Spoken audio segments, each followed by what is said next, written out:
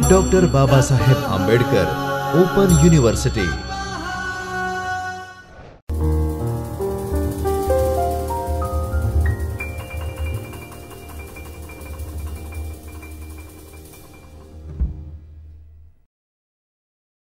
નમસ્કાર doctor Baba Saheb Ambedkar open યુનિવર્સિટીના ભાવનગર પ્રાદેશિક કેન્દ્ર ખાતેથી હું ડૉક્ટર દીપ્તિબા ગોહિલ આપ સૌનું હાર્દિક સ્વાગત કરું છું.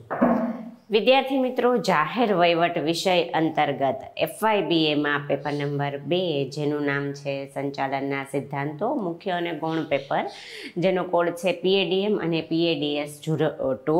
જે અંતર્ગત બ્લોક બે, સંચાલનના સિદ્ધાંતો બે, એમાં એકમ છવ્વીસ સત્તાની સોંપણી વિશે આજે આપણે ચર્ચા કરીશું. આજના મારા આ વીડિયો લેક્ચરની સમગ્ર રૂપરેખા આ પ્રકારે રહેશે. આ વીડિયો લેક્ચરના અંતમાં સ્વાધ્યાય રૂપે હું તમને કેટલાક પ્રશ્ન આપીશ, જેનો ઉત્તર તમે તમારી અનુકૂળતાના સમયે આપીને તમારું સ્વમૂલ્યાંકન કરી શકશો. વિશેષ વાંચન માટે મેં અહીં સંદર્ભ સૂચિ પણ આપેલી હશે. વિદ્યાર્થી મિત્રો, આજના મારા આ વીડિયો લેક્ચરનો મારો મુખ્ય ઉદ્દેશ્ય એ છે કે તમે સત્તા સોંપણીનો અર્થ, તેનું મહત્ત્વ તેના પ્રકારો, તેના સિદ્ધાંતો તેના અંતરાયો અને તેની મર્યાદાઓની સમજૂતી પ્રાપ્ત કરી શકશો. વર્તમાન સમયમાં મોટા કદના જે કદ સમય આવી રહ્યો છે, જેમ જેમ મોટા કદના એકમો વધી રહ્યા છે, તેમ તેમ સત્તા સોંપણીની જરૂરિયાત વધી રહી છે. નાના એકમમાં સંચાલકીય વડો તેની પાસે બધી સત્તા રાખીને વ્યવસ્થા તંત્ર અસરકારક રીતે ચલાવી શકે, પરંતુ મોટા કદના એકમના કિસ્સામાં આ શક્ય નથી. મોટા કદના વ્યવસ્થા તંત્રમાં સંચાલકીય વડો. વ્યવસ્થા તંત્રના અમલના સંબંધિત બધી જ સત્તાઓ વૈધાનિક રીતે પોતાની પાસે રાખે, પરંતુ કાર્યક્ષમતાની જરૂરિયાતને લક્ષ્યમાં રાખી તેને પોતાની સત્તા તેના હાથ નીચેના માણસોને આપવી પડે છે. આ ઉપરાંત બધા વ્યવસ્થા તંત્રો રૈખિક દરજ્જાના સિદ્ધાંતના પાયા પર ગોઠવાયેલ હોય છે. જે વ્યવસ્થા તંત્રની વિવિધ સપાટીઓ તથા એકમોને સત્તાની અતૂટ સાંકળથી બાંધે છે. સત્તા સોંપણીની જરૂરિયાત વ્યવસ્થા તંત્રના વિકાસની સાથે વધારે અનુભવાય છે. એલડી વ્હાઇટ જણાવે છે કે વિશાળ કાર્ય અને કદના સંજોગો કંઈક અંશે સત્તાની સોંપણીના કામનો ઉકેલ ઉદ્ભવ સ્થાને જ માંગી લે છે. વિદ્યાર્થી મિત્રો, સૌપ્રથમ તો આપણે સમજીએ અને વાત કરીએ સત્તા સોંપણીના અર્થ વિશે. તમને સ્વાભાવિક જ એવો પ્રશ્ન થાય કે સત્તા સોંપણી એટલે શું? તો ચાલો એ પણ સમજીએ. સત્તા સાપણી એટલે ચોક્કસ કોઈ કાર્ય પૂર્ણ કરવાના હેતુથી ઉપરી અધિકારીએ હાથ નીચેના માણસને સોંપેલી સત્તા. મુનિ એવું જણાવે છે કે સત્તા સોંપણી એ એટલે ઉપરી અધિકારીએ નીચેના માણસને બક્ષેલી નિર્દિષ્ટ સત્તા. તે એક વ્યક્તિ દ્વારા નિરીક્ષણ અને અંકુશના પોતાના અધિકાર પર આધારિત તેના પ્રતિનિધિ કે હાથ નીચેના માણસને સત્તાને ક્રમિક ફાળવણી છે. વૈધાનિક રીતે સોંપાયેલ સત્તા તો હજી સત્તા સોંપનાર પાસે જ રહે છે, પરંતુ હાથ નીચેના માણસ કે પ્રતિનિધિ દ્વારા તેના વ્યવહારિક અમલને મંજૂરી આપવાનું તે સૂચન કરે છે. અને એ જ રીતે આલ્બર્ટ પિક્સબર્ગ પણ જણાવે છે કે સત્તા સોંપણીનું કાર્ય કે પ્રક્રિયા એટલે હાથ નીચેના માણસને વ્યવસ્થા તંત્રના ચોક્કસ કાર્યો સોંપવા અને આવા સોંપાયેલા કાર્યો કે ફરજોને સંતોષકારક રીતે બજાવવા જરૂરી સત્તા એક એક અથવા વધુ વ્યક્તિઓને સોંપવી. વિદ્યાર્થી મિત્રો, આપણે સત્તા સોંપણીના સંદર્ભમાં બે ત્રણ બાબત જે બિંદુરૂપ છે તે જોઈએ. એટલે નીચે તરફ સત્તાની સોંપણી થાય છે. જ્યારે ઉપરી અધિકારી પોતાની હાથ નીચેના અધિકારીને સત્તા સોંપે, ત્યારે નીચે તરફ સત્તા સોંપણી કહેવાય. જેમ કે સેલ્સ મેનેજર કોઈ સેલ્સમેનને સત્તા સોંપે. બીજું છે ઉપર તરફ સત્તા સોંપણી. જ્યારે નીચેના અધિકારીઓ ઉપરના અધિકારીને સત્તા સોંપે છે, ત્યારે એ સત્તા સોંપણી ઉપર તરફ થઈ છે એમ કેમ? જેમ કે કંપનીના શેર હોલ્ડર્સ હોય, તેમની સત્તા બોર્ડ ઓફ ડિરેક્ટર્સને સોંપે છે. અને ત્રીજું છે, આજુબાજુમાં સત્તા સોંપણી. જ્યાં સત્તા સમાન કક્ષાએ હોય છે, જેમાં કોઈ વ્યક્તિ વ્યવસ્થા તંત્રમાં તેના સમકક્ષ સાથીદારોને સોંપે છે અને તેથી સત્તાની સોંપણીની વ્યાખ્યા એમ કરી શકાય કે કાર્ય કે જવાબદારીનું કોઈ ભાગ તથા સત્તા બીજાને સોંપવી અને તેના પાલન માટે ઉત્તરદાયિત્વ ઊભું કરવું. આ હતી સત્તા સોંપણીના સંદર્ભમાં, અર્થના સંદર્ભમાં સમજૂતી. વિદ્યાર્થી મિત્રો, હવે આપણે વાત કરીએ સત્તા સોંપણીના લક્ષણો વિશે. સત્તાની સોંપણીનું હાથ નીચેના કર્મચારીને કે વ્યવસ્થા તંત્રના બીજા એકમને એક ચોક્કસ રીતે સ્વતંત્રતાપૂર્વક કાર્ય કરવા માટે પૂરતા અધિકાર પ્રદાન કરવા, સત્તા મેળવનારે સત્તા સોંપનાર નિર્દેશ કરેલ મર્યાદામાં કાર્ય કરવાનું હોય છે.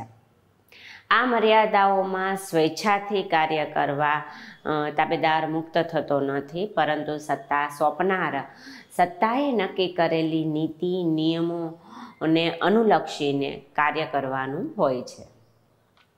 સત્તાની સોંપણીનું બેવડું સ્વરૂપ હોય છે. ઉપરી અધિકારી કે સત્તા સોંપનાર તાબેદારને સત્તા સોંપે છે, પરંતુ તે જ સમયે પોતે સત્તા ધરાવવાનું ચાલુ રાખે છે. અને ટેરીએ યોગ્ય જ રીતે એવું કહ્યું છે અને નોંધ્યું પણ છે કે સત્તા સોંપણી એ અન્યને જ્ઞાન વહેંચ્યા બાદ મેળવનાર પાસે જ્ઞાન હોય છે અને છતાં તમે પણ જ્ઞાન ધરાવો છો તેવી સમજ છે. સત્તા સોંપણી તે સત્તાની અપૂર્ણ સોંપણી છે. સત્તા સ્વરૂપના તેના હાથ નીચેના માણસોને તેની સંપૂર્ણ સત્તા નહીં સોંપે. કારણ કે જો તેની પાસે સંપૂર્ણ સત્તા સોંપી દે, તો નિરીક્ષણ અને અંકુશના અધિકારો તે ઉપયોગ નહીં કરી શકે. અને તેથી જ સત્તા સોંપણી પૂર્વ નિર્ધારિત કે મર્યાદિત સૂચનાઓને અનુલક્ષીને હોય છે. એકવાર સોંપાયેલી સત્તા ફેરફારને પાત્ર પણ હોય છે. તે વધારી પણ શકાય છે અને તે ઘટાડી પણ શકાય છે અને પાછી પણ લઈ શકાય છે. અને આ સમયની જરૂરિયાતને આધારે અને કાર્યની પૂર્ણતા પર કયો નિર્ણય લેવો એ ડિપેન્ડ છે. વિદ્યાર્થી મિત્રો, હવે આપણે વાત કરીએ સત્તા સોંપણીની જરૂરિયાત વિશે. સૌપ્રથમ તો સમજીએ કામના કદ વિશે, કારણ કે સત્તા સોંપણી એ સાર્વત્રિક ઘટના છે. કામના વધતા જતા કદથી આપણને એવું લાગે છે કે અમુક પ્રકારની સત્તા સોંપણી હોવી જોઈએ. વ્યવસ્થા તંત્રના વડા માટે બધો જ કાર્યભાર એ પોતાની પાસે રાખે એ શક્ય નથી. અને મુશ્કેલ છે. અને જો એમ કરવા જાય, તો ચોક્કસ કામ જે છે એ સમયસર પૂર્ણ થતું નથી. અને એમાં કાર્યક્ષમતા પણ જળવાતી નથી. અને કોઈ કરકસરથી એ કામ પૂરું નહીં કરી શકે. કેટલાક કામોને જુદા તારવવા પડે છે અને સંતોષકારક રીતે બીજા દ્વારા એ પૂરા થઈ શકે છે. નવા કર્મચારીઓને જે કામ સોંપી શકાય, એવા કામ એને સોંપવા જોઈએ, જેના કારણે સંગઠનમાં ધારેલા ઉદ્દેશોને પૂર્ણ કરવાનું શક્ય બને. ફરજો અને કાર્ય સોંપણીની પુનઃ વ્યાખ્યા પણ કરવી પડે છે. કાર્ય વિભાજનની સાથે ઘણીવાર અનુમાનો પણ વધે છે. બીજો એક મંદ, મુદ્દો છે જટિલતા. વ્યવસ્થા તંત્રની કાર્યવિધિઓ વધુને વધુ જટિલ બનતી જાય છે.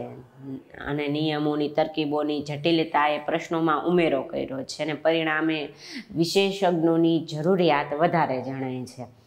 રૈખિક સંસ્થાઓને જટિલતાને લીધે મસલતો અને વિચારવાનું અને યોજના ઘડતર જેવા કાર્યો વિશેષજ્ઞોને સોંપવાની ફરજ પડે છે. અલબત્ત યોજના મંજૂર કરવાનો અંતિમ અધિકાર રૈખિક અધિકારીઓ પાસે રહે છે. નીતિ ઘડતર તથા આયોજન માટે સમય બચત કાર્યપાલક વ્યવસ્થાપકને આયોજન અને નીતિ ઘડતર માટે હંમેશા વધુ અને વધુ સમય જોઈએ છે. જો તે ગૌણ વિગતોમાં જ વ્યસ્ત રહે, તો આયોજન અને નિર્ણય લેવામાં પૂરતો સમય ફાળવી શકે નહીં. જે ઉપરી અધિકારી અસરકારક રીતે સપના, સત્તાની સોંપણી કરી શકે, તે વધુ નિરીક્ષણ અને એકંદરે આયોજનનું કાર્ય સંભાળવા મુક્ત રહે છે. ચોથો એક મુદ્દો છે શૈક્ષણિક મૂલ્ય. સત્તા સોંપણીનું એક શૈક્ષણિક મૂલ્ય પણ છે. વહીવટદારની મુખ્ય ફરજોમાંની એક, તેના તાબાના કર્મચારીઓને જવાબદારી વહેંચતા અને નિર્ણયો લેતા શીખવાની ફરજ પણ છે. સત્તા સોંપણી આ દિશામાં એક અસાધારણ ભાગ ભજવે છે. હાથ નીચેના કર્મચારીઓ ઉત્સાહી બને છે અને વધુ વફાદારી અને વ્યવસ્થા તંત્રમાં એક પરિવારની લાગણી ઉદ્ભવે છે. સત્તા સોંપણીથી તેમનો જુસ્સો વધે છે અને વ્યવસ્થા તંત્ર સાથે એ પોતાને ઓળખાવતા એક ગર્વ અનુભવે છે કે હું આ સંસ્થા સાથે સંકળાયેલો છું કે સંકળાયેલી છું. સત્તા સોંપણીની પ્રક્રિયા એ માત્ર શૈક્ષણિક જ નહીં, પરંતુ એક ફળદાયી પણ છે. તે સંચાલન વિકાસની તાલીમ પૂરી પાડે છે અને તાબેદારોમાં સંચાલન શ્રેણી અંગે મદદ કરે છે. આ પ્રક્રિયાથી વ્યવસ્થાપકો વિવિધ કક્ષાએ નિર્ણયો લઈ શકે છે અને તેમની જાતે આવશ્યક મુદ્દાઓ પર પગલાં અથવા તો એક્શન લઈ શકે છે. આ રીતે સત્તા સોંપણી એ સ્વ ઉન્નતિ અને સ્વ અભિવ્યક્તિનો પર્યાય અવકાશ પૂરો પાડે છે. આમ, સત્તા સોંપણી એ સંચાલન વિકાસમાં કેન્દ્રવર્તી પગલું છે એમ આપણે કહી શકીએ. વિદ્યાર્થી મિત્રો, પછીનો એક મુદ્દો છે વ્યવસ્થા તંત્રમાં પરિવર્તનશીલતા માટેનો. વ્યવસ્થા તંત્રમાં જડતા એ હંમેશા હાનિકારક હોય છે. ઉત્પાદન તથા કાર્યમાં કાર્યક્ષમતા વધારવામાં તે અવરોધ રૂપ પુરવાર થાય છે. વ્યવસ્થા તંત્રમાં નરમાશ લાવવા તથા સત્તા સોંપણી એક અનિવાર્ય બને છે. સત્તા સોંપણી જડતા દૂર કરે છે અને પરિસ્થિતિમાં ફેરફાર અનુસાર કામ કરવામાં મદદરૂપ બને છે. બીજું એક છે ભૌગોલિક વિભાજનો.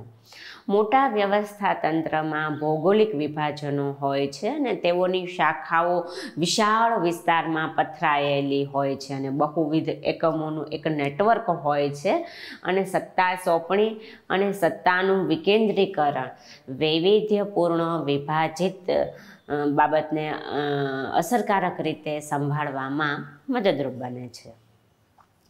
પછીનો એક મુદ્દો છે કરકસર અને કાર્યદક્ષતા. સત્તા સોંપણી ફરજોને કાર્યક્ષમ રીતે તથા સત્વરે બજાવવાના અગત્યના એવા કાર્ય વિભાજનમાં મદદ કરે છે. સત્તા સોંપણી ઢીલ ઘટાડે છે અને વ્યવસ્થા તંત્ર કાર્યક્ષમ રીતે તથા કરકસરથી કામ કરતું રહે છે. વહીવટની વિવિધ કક્ષાએ સત્તાની સ્પષ્ટ સીમાંકનને લીધે વ્યવસ્થા તંત્રની વિવિધ સપાટી કે શાખાઓ પર અસરકારક અંકુશ માટે પણ સત્તા સોંપણી ઉપયોગી બને છે. પછીનો એક મુદ્દો છે, ઉત્તરાધિકારના મદદ કરે છે. કઈ રીતે? તો ચાલો આવો એ પણ સમજીએ. સત્તા સોંપણી અને ઉત્તરાધિકારી વચ્ચે ઘણો સંબંધ છે. વહીવટદાર સત્તા સોંપણી દ્વારા પોતાના ઉત્તરાધિ ઉત્તરાધિકારી માટે એક રસ્તો તૈયાર કરે છે. એટલે કે જ્યારે કોઈ વહીવટદાર છૂટા થાય છે, ત્યારે તેનું સ્થાન લેવા બીજા અધિકારી સક્ષમ હોવા જોઈએ. એટલે આ એક મુદ્દો પણ અગત્યનો હતો. વિદ્યાર્થી મિત્રો, હવે આપણે વાત કરીએ સત્તા સોંપણીના પ્રકારો વિશે. તેના કેટલા પ્રકારો છે? તેને ખાસ કરીને સત્તા સોંપણીના સંદર્ભે તેના જે ત્રણ પ્રકારો છે તો કે પાંચ પ્રકાર છે તેની આપણે સમજૂતી પ્રાપ્ત કરીએ. એક તો છે કાયમી અને કામચલાઉ સત્તા સોંપણી. સત્તા સોંપણી, કાયમી કે કામચલાઉ સ્વરૂપની હોઈ શકે છે. કાયમી સત્તા સોંપણીમાં સામાન્ય શરતોથી કાયમ માટે અધિકારો સોંપવામાં આવે છે. માત્ર અપવાદરૂપ સંજોગોમાં જ આ પ્રકારની સત્તા સોંપણી રદ કરવી પડે છે. જ્યારે કામચલાઉ સત્તા સોંપણી એટલે શું? તો કે તેમાં અધિકારોની સોંપણી કેટલાક હેતુઓ સિદ્ધ કરવા પૂરતી જ કરવામાં આવેલી છે અને એ હેતુ જેવો પૂર્ણ થઈ જાય છે, તરત જ સત્તા સોંપણીનો અંત આવે છે. એટલે એ ટૂંકા ગાળાની છે, કામ ચલાવ છે, જો શબ્દ જેવું સૂચવે છે. બીજું છે પૂર્ણ અને અંશતઃ સત્તા સોંપણી. પૂર્ણ સત્તા સોંપણી ત્યારે કહેવાય કે જ્યારે સત્તા સોંપણીની કોઈ શરતો લાગુ પડતી ન હોય તથા સત્તા મેળવનાર વ્યક્તિ પાસે નિર્ણય લેવો અને કામગીરી હાથ ધરવા પૂર્ણ સત્તા હોય. સત્તા સોંપણી અંશતઃ ત્યારે બને છે જ્યારે સત્તા મેળવનારે લીધેલા નિર્ણયો અંગે સત્તા સોંપનાર અધિકારી દ્વારા મંજૂરી મેળવવાની હોય. ઉદાહરણ તરીકે જ્યારે કોઈ કોઈ રાજદૂતને વાટાઘાટ માટેના પૂર્ણ અધિકાર વિદેશમાં હોય ત્યારે તે પૂર્ણ સત્તા સોંપણી કહેવાય છે. પરંતુ જો અંતિમ ફેસલો કરતાં પહેલાં જો સલાહ કે મંજૂરી મેળવવાની હોય, તો એ અંશતઃ સત્તા સોંપણી છે એમ આપણે કહી શકીએ. પછીનો એક પ્રકાર છે શરતી અને બિનશરતી સત્તા સોંપણી. સત્તા સોંપણી શરતી અને બિનશરતી પણ હોઈ શકે છે. જ્યારે સત્તા મેળવનારને તેના ઉપયોગ સામે શરતો મૂકવામાં આવી હોય, ત્યારે શરતી સત્તા સોંપણી કહેવાય. જ્યારે તાબેદારો કોઈ પણ સાવધાની વિના કામ કરવા યુક્ત હોય, ત્યારે તે બિનશરતી સત્તા સોંપણી કહેવાય. ઉદાહરણ તરીકે, જ્યારે તાબેદારનો નિર્ણય મંજૂરી અને ઉપરી અધિકારી દ્વારા ફેર તપાસણીને આધીન હોય, ત્યારે તે શરતી સત્તા સોંપણી કહેવાય છે. જ્યારે તાબેદાર વિવેકાધીનપણે કાર્ય કરવા અધિકૃત હોય, ત્યારે સત્તા સોંપણીને બિનશરતી સત્તા સોંપણી તરીકે ઓળખાવી શકાય. પછીનો એક પ્રકાર છે વૈદિક અને અવૈધિક સત્તા સોંપણી. જ્યારે સત્તા સોંપણી, લેખિત નિયમો, પેટા નિયમો કે આદેશોમાં સમાવિષ્ટ હોય ત્યારે વૈધિક સત્તા સોંપણી બને છે. અને જ્યારે રીતિ રિવાજ, પ્રણાલિકા અને સમજૂતી પર આધારિત સત્તા સોંપણી એ અવૈધિક સત્તા સોંપણી કહેવાય છે. અને છેલ્લો પ્રકાર છે પ્રત્યક્ષ અને પરોક્ષ સત્તા સોંપણીનો.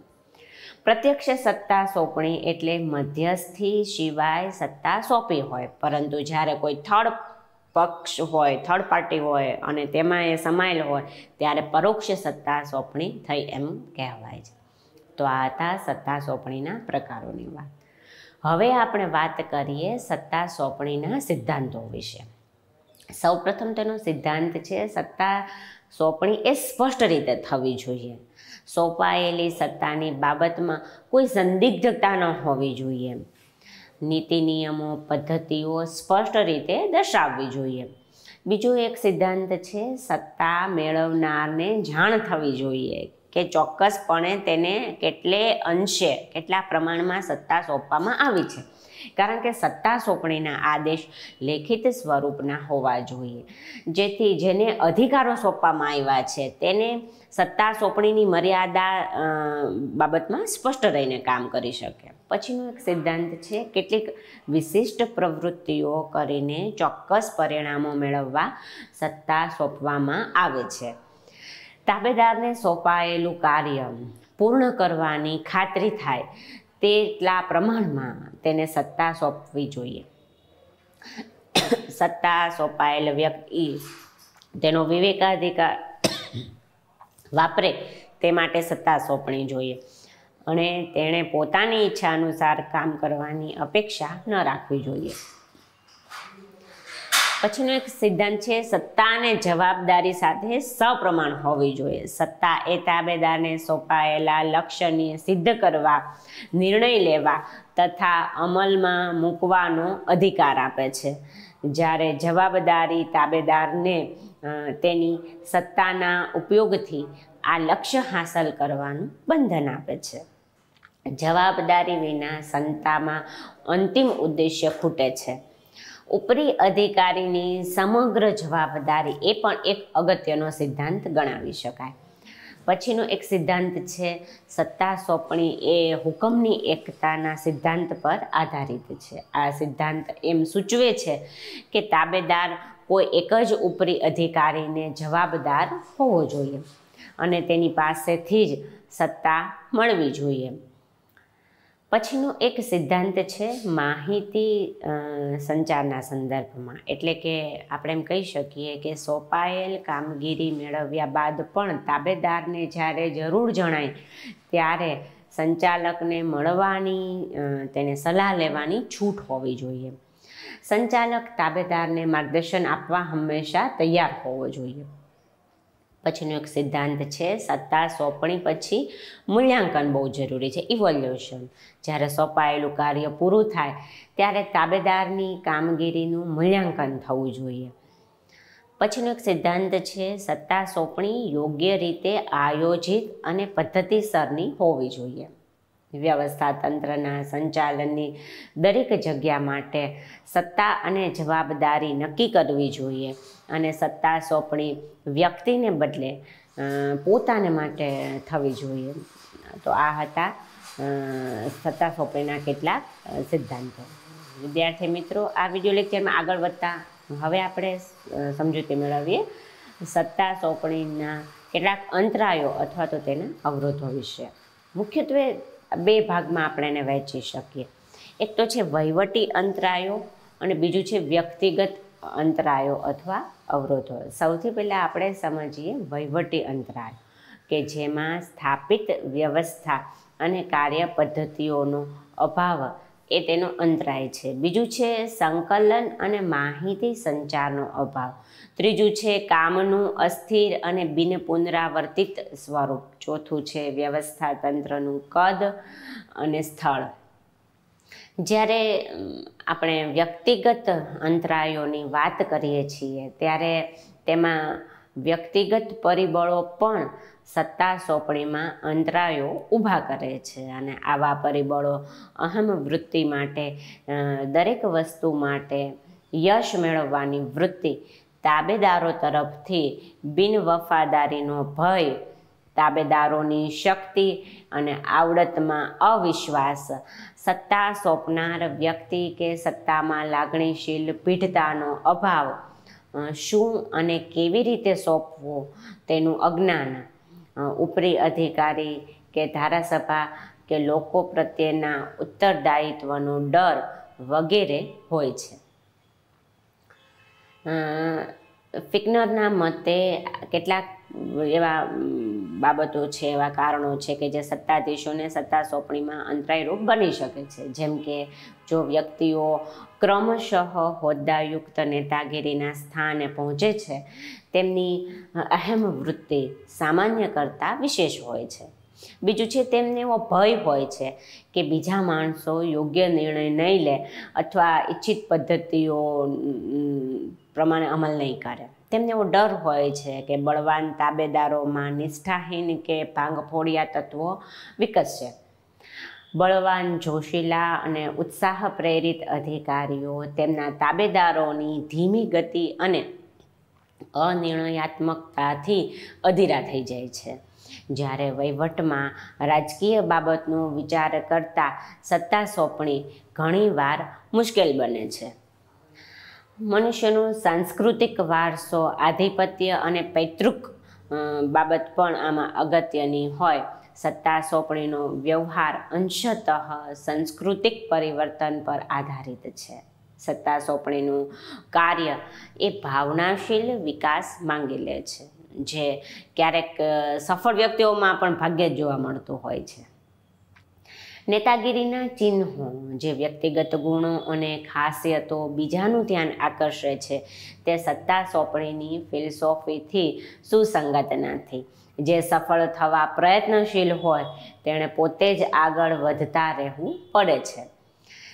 જે વ્યક્તિઓ સત્તા સોંપવા ઈચ્છે છે, તેમને સત્તા કેવી રીતે સોંપવી તેનો ખ્યાલ નથી હોતો અને ઓછામાં ઓછા બે કારણસર તેઓ જાણતા નથી કે કેટલે અંશે સત્તા સોંપણી જોઈએ.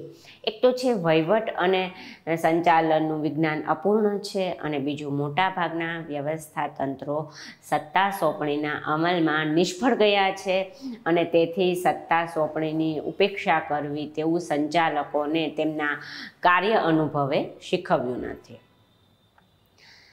સંચાલકો આ અંતરાયો ઉપરાંત પણ કેટલાક અંતરાયો છે, જેમ કે તાબેદારો એ ઘણીવાર તાબેદારમાં અસ્વીકૃતિ હોય છે અને અસ્વીકૃતિના ઘણા કારણો છે. જેમ કે નંબર વન ટીકાનો ભય, નંબર ટુ સારું કામ કરવા માટે જરૂરી માહિતી અને સાધનોનો અભાવ, નંબર થ્રી સોંપાયેલ સત્તાના અમલમાં સાચા નિર્ણયો લેવામાં વિશ્વાસનો અભાવ, નંબર ફોર પહેલ વૃત્તિ અને ધગશનો અભાવ. નંબર ફાઇવ પોતાની શક્તિ કરતાં વધારે કામ વગેરે હોઈ શકે છે. અલબત્ત આ બધા જ અંતરાયો સત્તા સોંપણીના આડે આવે છે. વધતા ઓછા પ્રમાણમાં પ્રત્યક્ષ પરોક્ષ રીતે. ફિકનરે સત્તા સોંપણીના અસરકારક બનાવવા માટેની તરકીબો પણ સૂચવી છે. જેમ કે જવાબદારી ઉઠાવી લે, તેવા તાબેદારો પસંદ કરો. આવી જવાબદારીઓ સ્પષ્ટ કરવી જોઈએ. તેઓને જવાબદારી ઉઠાવવાની સાથે સાથે તાલીમ પણ આપવી જોઈએ. વ્યાપક નીતિઓ ઘડવી જોઈએ અને વ્યવસ્થા તંત્રમાં તેનો પ્રચાર કરવો જોઈએ. કાર્યાનુસાર રોજિંદી સંભાળ એમ બંને કાર્ય પદ્ધતિઓનું પ્રમાણીકરણ પ્રયત્નશીલ રહેવું જોઈએ. સતત સંચાલકીય આયોજન અપનાવવામાં આવે, જેમાં કાર્યોનું પૃથ્થકરણ, વહીવટી અભ્યાસ, અંદાજપત્રીય આયોજન, કાર્યપ્રવાહ અભ્યાસ અને પ્રગતિ તથા કાર્યરીતિનું સરલીકરણ હોય. એવા બાહ્ય નિયંત્રણ સ્થાપિત કરવામાં આવે, જે આપમેળે જ ભયનો સંકેત દર્શાવે. વ્યવસ્થા તંત્રના માળખામાં ઉપર તરફ, નીચે તરફ તેમજ આસપાસ માહિતીનો પ્રવાહ વહે તેની તકેદારી રાખવી જોઈએ. તો આ હતી સત્તા સોંપણીના અસરકારક બનાવવા માટેની કેટલીક તરકીબોની ચર્ચા. વિદ્યાર્થી મિત્રો, હવે આપણે સત્તા સોંપણીની કેટલીક જે મર્યાદાઓ છે એની પણ ચર્ચા કરી લઈએ. કારણ કે સત્તા એમપી શર્મા છે જે, તેમના અનુસાર કેટલાક અધિકાર છે સોંપી ન શકાય. જેમ કે પ્રથમ હરોળ કે હાથ નીચેના તુરતના અધિકારીઓના નિરીક્ષણનું કાર્ય. વ્યાપક નાણાકીય નિરીક્ષણ અને એક નિર્દિષ્ટ રકમથી વધારાના ખર્ચને મંજૂર કરવાનો અધિકાર. નિર્દિષ્ટ ઉચ્ચ નિમણૂક આપવાનો અધિકાર વગેરે. વિદ્યાર્થી મિત્રો આપણે આ સંદર્ભમાં એમ કહી શકીએ કે તુરતના જે કાર્ય કરવાના હોય છે, સંપૂર્ણ સત્તાની સોંપણી એ સંચાલકને બિનજરૂરી બનાવે છે. અલબત્ત, દરેક કિસ્સામાં સત્તા સોંપણીની માત્રા, કિસ્સાનું સ્વરૂપ, સંજોગો અને વહીવટી માળખાને આધારે એ સમયાંતરે બદલાતું રહે છે, એમ આપણે કહી શકીએ. વિદ્યાર્થી મિત્રો, આજના આ વિડિયો લેક્ચરના આપણે જે સમગ્ર ચર્ચા કરી તેના સારાંશ રૂપે આપણે એવું કહી શકીએ કે સત્તા સોંપણીને સંચાલનની ઘણી જ અગત્યની એક સમસ્યા છે અને કોઈ વ્યવસ્થા તંત્ર સત્તા સોંપણીની જોગ્યા વિના કામ કરી શકે નહીં. બીજા શબ્દોમાં આપણે એમ કહી શકીએ કે સત્તા સોંપણી એ એવું સૂચવે છે કે ઉપરની સત્તા તરફથી નીચેની સત્તા તરફ નિર્દિષ્ટ થતા સત્તા પ્રદાન કરવી. સત્તા સોંપણીની જરૂરિયાત વિશે પણ આપણે આ વીડિયો લેક્ચરમાં વાત કરી. તેના પ્રકારો જેમાં કાયમી અને કામચલાઉ, પૂર્ણ અને અંશતઃ, શરતી અને બિનશરતી, વૈધિક અને અવૈધિક સીધી અને આડકતરી સત્તા સોંપણીના પ્રકારોની આપણે વાત કરી. એવી જ રીતે સત્તા સોંપણીનું સંદર્ભમાં કેટલાક સિદ્ધાંતોની પણ આપણે ચર્ચા કરી, જે સિદ્ધાંતો વિના અસરકારક રીતે અને કાર્યક્ષમ રીતે સત્તા સોંપણી શક્ય નથી. તે લેખિત અને સ્પષ્ટ હોવી જોઈએ. વ્યવસ્થા તંત્રની દરેક જવાબદારી સત્તા અને જવાબદારી નક્કી કરી આપવા જોઈએ. સત્તા સોંપણી તે વહીવટી અને વ્યક્તિગત અંતરાયોને આધીન છે અને તેની પદ્ધતિ અને પ્રક્રિયાની પણ આપણે ચર્ચા કરી ચૂક્યા છીએ. આમ સંપૂર્ણ સત્તા સોંપણી જરૂરી નથી કે વ્યવહારો પણ નથી. મુખ્ય સંચાલક અને વ્યવસ્થા તંત્રના હિતમાં પણ નથી. સત્તા સોંપણી કેટલીક મર્યાદાઓને આધીન છે. નાણાં, મૂલ્યાંકન, નીતિ તથા આયોજનનું ઘડતર અન્ય નિર્ણયો સામે અપીલનો અધિકાર વગેરે અધિકારો સોંપી ન શકાય, જેની આપણે ચર્ચા કરી છે. આજના આ વીડિયો લેક્ચરમાં એક કી વર્ડ મેં વાપરો, ચાવીરૂપ શબ્દ, એની પણ આપણે સમજૂતી મેળવી. એક શબ્દ તો કાર્ય પૃથ્થકરણ એટલે કે પદ્ધતિસરનું પરીક્ષણ. અહમ વૃત્તિ, એટલે વર્તણૂકના પાયામાં સ્વાર્થ વૃત્તિ. બીજો એક શબ્દ છે કાર્ય પ્રવાહ અભ્યાસ, કામ પરના કર્મચારીની કામગીરીની કાર્ય પદ્ધતિનો અભ્યાસ. આજના આ વીડિયો લેક્ચરના આધારે હવે હું તમને સ્વાધ્યાય રૂપે પ્રશ્ન આપું છું, જેની તમે નોંધ કરી રાખો, જેનો ઉત્તર તમે તમારી અનુકૂળતાના સમય આપીને તમારું સ્વમૂલ્યાંકન કરી શકશો. પ્રશ્ન અહીં પ્રસ્તુત છે, સત્તા સોંપણીનો અર્થ આપી, સત્તા સોંપણીના લક્ષણો, તેની જરૂરિયાતો સમજાવો, તેના પ્રકારોની ચર્ચા કરો, તેના સિદ્ધાંતોની ચર્ચા કરો. આવો કોઈ પણ શબ્દ પૂછાઈ શકે. અર્થ અને પ્રકાર, જરૂરિયાતો અને સિદ્ધાંતો પૂછાઈ શકે. અલગ અલગ રીતે એની સત્તા સોંપણીની મર્યાદાઓ સમજાવો. આવો પણ પ્રશ્ન પૂછાઈ શકે. એટલે અગત્યના જેટલા મુદ્દાઓની ચર્ચા કરી એ શોર્ટ નોટ લોંગ ક્વેશ્ચન તરીકે પૂછાઈ શકે. વિશેષ વાંચન માટે મેં અહીં સંદર્ભ સૂચિ પણ આપેલું છે, જેનો ઉપયોગ તમે કરી શકશો. ફરીવાર મળીશું કોઈ નવા જ ટોપિકની ચર્ચા સાથે. ત્યાં સુધી આપ સૌને તંદુરસ્ત સ્વાસ્થ્યની શુભકામનાઓ. ધન્યવાદ. સ્વાધ્યાય પરમા